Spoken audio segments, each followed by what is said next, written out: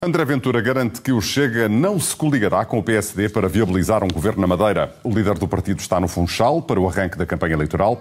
Acusa Miguel Albuquerque de governar o arquipélago como António Costa governa o país e fala em ajuste de contas com a história depois de vencer a batalha que permitiu ao partido concorrer às eleições.